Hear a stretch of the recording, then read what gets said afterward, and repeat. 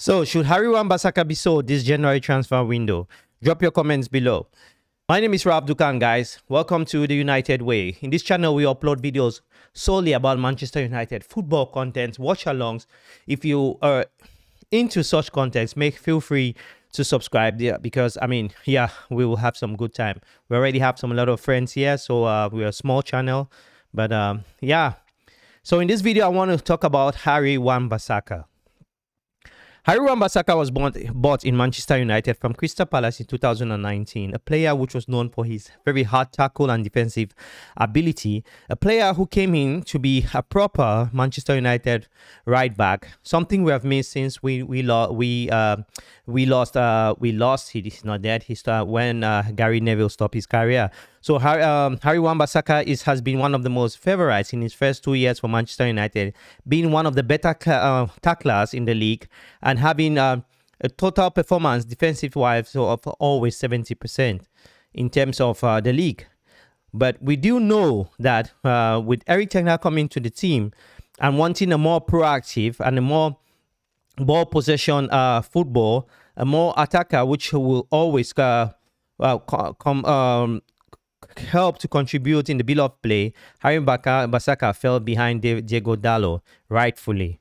So, um, all from the past couple of weeks, we all know that Harry Wan-Bissaka has uh, walked his way since after the World Cup. It is very important for us to know that after the World Cup, there have been a shift in, in strategy. There's been a shift and some surprise that most of you would have not um, seen this coming about players like we know Lisandro Martinez has um, Lisandro Martinez ha, ha, has uh, I'm not sure if he has lost his place, but Lisandro Martinez is not the same player which uh, has starting games for United for certain reasons.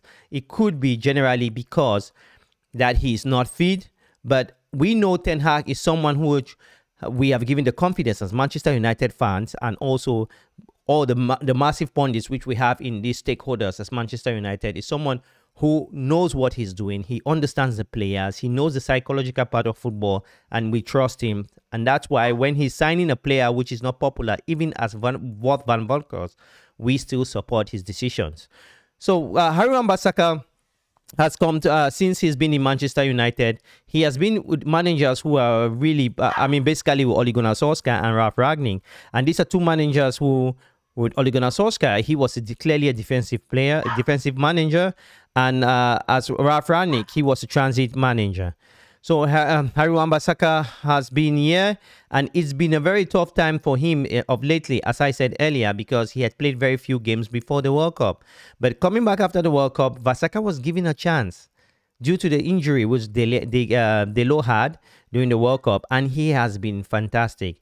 The game, the, the and unless let, let me just say this guys. The reason why Harry Wan-Bissaka has been good also is not also because of him. It's because of the manager Ten Hag that we have that has put a lot of energy tactical know-how to his players. He's not the only player who has emerged from the, his um, from being uh, just uh, another player to a star player for Manchester United. We can talk about Luke Shaw who has oh, now been a central defense midfielder whom whom I think Ten Hag is trying to give an image most of you said I talked to. I remember in the first video I talked about Luke Shaw when he was in the central defense uh, midfield. Some said, "Oh, Harry Ten is sending a mission to the message to the board that he he doesn't want Harry Maguire. He wants he wants he wants um he wants uh, players that who uh who who, who are playing the kind of football he wants, who are good on the ball, who are swift, who are technically up front.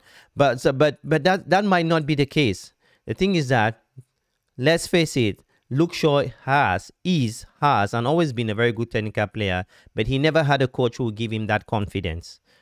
Talking about uh, Ten Hag again, what he has brought to the team, which is that discipline, which I keep saying, I keep saying on the on the channel that you know with Ten Hag, the when Ten Hag came to the club, many of uh, the pundits, you know, when I talk pundits, I mean football people, not only in Manchester United. We're talking about his inexperience in the Premier League. He hasn't won anything in the big in the big stage. But uh, most of you guys who watch foot who watch football, who knew Ten Hag, you knew Ten Hag better than most of the pundits that you guys really bow on them. them. I've given an advice to my my followers that it is preferable to listen to Manchester United fans if you're a Manchester United fan than listening to a top top ex-footballer who doesn't watch Manchester United games. I'm talking solely on Manchester United content. So you shouldn't be fooled by what the media is manipulating you because most of the channels who talk about Manchester United, these are people who sleep and drink in Manchester United content. It's yours to choose. So uh, my the, I just wanted to make this short video about Harry Wan-Bissaka, which I think that if he can improve his technical abilities, we know he's from a very disciplined family. I watched a video on YouTube. I've seen Harry Wan-Bissaka's father. He's a proper African fam- father who understands the difference about bringing up a child in a very tough uh, environment.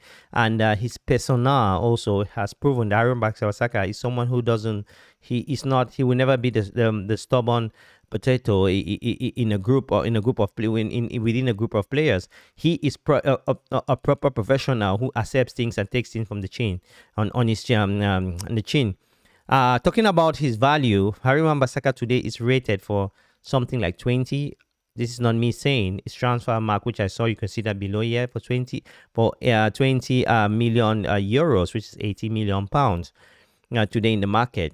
And uh, we know that Crystal Palace was in an advanced uh, position to to to loan him back this January. This is something which I think is very unlikely now, considering Harry Wan-Bissaka. And not this is not me saying it.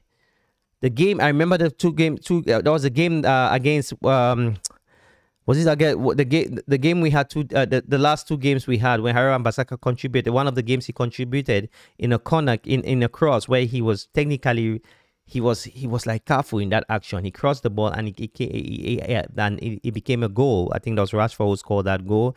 And after that game, Harry Ten Hag talked about Harry Wan-Bissaka being a, a, a, a, good player, a player that has improved in, bottom, in front of him. Uh, I think Harry Ten Hag has a way that he motivates players, not only benching them, but testing their their commitment, not only to the club, but testing their psychological part. This is something that nobody is speaking in here on the uh, on the community, on the football community. There are some coaches that are not very good at testing their players. Erik Ten Hag is about Manchester United. He doesn't care. He doesn't care what a player thinks. He he cares more about what a player thinks about Manchester United Football Club. So I just want to ask you guys, guys, should uh, should should uh, Harry Wan-Bissaka be sold? Should Harry Wan-Bissaka be sold? So please drop your comments below because I really want to hear from you. If you are a Manchester United fan and you're not another spam, so please uh, drop your comments below. I really want to know should my Harry Wan-Bissaka be sold? Because before the World Cup, we're talking about a Dalot re replacement and Harry Wan-Bissaka's performance from Manchester City, which he was very good, one of the better players in the team, uh, uh and also the three games which he has started, he has been just flawless he he has improved massively. We we have to agree that.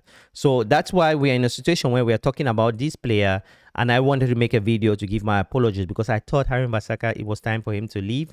I thought, but he has proven all of you wrong, not only me. I think the next stage will be Harry uh, Harry Wambasa uh, will be Harry Maguire, which I think with the players we have, he would he will not be able to match them in terms of the quality that they have in. Uh, uh, here in Manchester United. So guys, please tell me what you think about this video, what you think about Harry Wan-Bissaka, and what is your position on Harry Wan uh, Harry. If you were the manager of Manchester United and someone comes with 30 million pounds for Harry Wan-Bissaka, are you going to give Harry Wan-Bissaka? Because today his value his value for 20 million pounds, and uh, yeah, I would love to hear your opinion on that. So please drop your comments below. And by the way, guys, today is my birthday. Thanks for all of you who have been wishing me happy birthday. And uh, yeah.